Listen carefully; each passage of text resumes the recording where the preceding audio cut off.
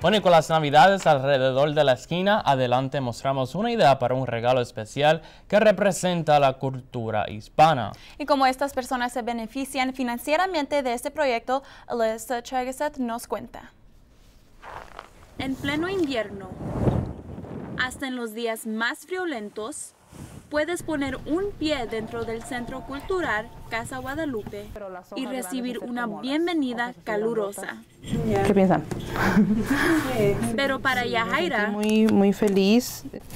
es más que una gota de pegamento o el movimiento de la brocha. Esta va a ser una piñata navideña. Ella honra su cultura Esta la, de- la hice ayer. pieza por pieza.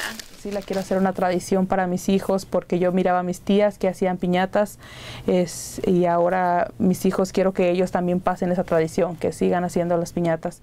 El proyecto de piñatas es una ayuda al bolsillo de su familia. Ah, les gusta que trabaje en eso. Al principio pensaban que era como un juego porque me gusta hacer manualidades, pero ya que empezaron a ver que me pagaban, eh, ya les empezaron a ver que sí era un trabajo. Eh, Es un excelente programa para las mujeres eh, del área aquí en Cold Spring porque les da una oportunidad para tener un income. Pero su sonrisa muestra algo más que un par de dólares.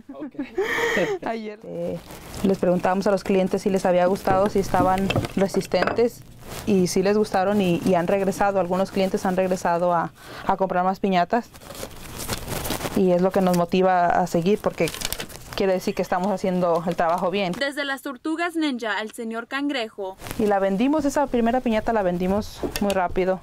y también Dora la exploradora, no importa la edad o el tamaño, una piñata es la receta perfecta para una buena fiesta. Y queremos decirles pues que las piñatas no nada más son para los niños. Hemos hecho piñatas como una zapatilla para una señora de 72 años y es lo que lo que queremos ah, dejarles saber que no las piñatas.